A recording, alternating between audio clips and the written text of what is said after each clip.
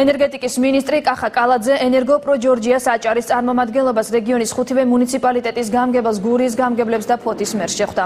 შეხვედრაზე საუბარი შეეხო მუნიციპალიტეტებში არსებულ პრობლემებს, მათ შორის ძველი სადენების და ტრანსფორმატორების საკითხს. გარდა ამისა, ენერგოპრო ჯორჯიას აჭარის წარმომადგენლობამ მინისტრ შესრულებული სამუშაოების შესახებ ინფორმაცია მიაწოდა და სამომავლო გეგმები გააცნო. კახა კალაძის განცხადებით, საქართველოს მასშტაბით ინდივიდუალური გამრიცხველიანება 2015 წლის ბოლომდე დასრულდება.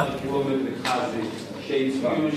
გავაცანით თუ რა სამუშაოები განხორციელდა ამ კუთხით დაახლოებით 50 კილომეტრი სადენი ამ ეტაპზე 6-10 კილოვოლტში შეცვლილია და ადალოგურად ვარაუდობთ რომ მოახლოეს პერიოდში მაქსიმალურად აღმოიფრობა ეს პრობლემა. 2015 წლის ბოლოსთვის სრულად საქართველოს მასშტაბით დასრულებული იქნება გამრიცხველიანების პრობლემა. ყველა იმ ადამიანს ვინც დაინტერესებულია გაიგოს თუ 2013 წელს გრაფიკით რომელ სოფლებს გაუკეთდება ეს სამუშაოები, მათ შეუძლიათ სამინისტროს ოფიციალურ ვებგვერდზე იხილონ ნუსხა, სადაც არის განთავსებული ყველა ის სოფელი, რომლის გამრიცხველიანებაც იგეგმება.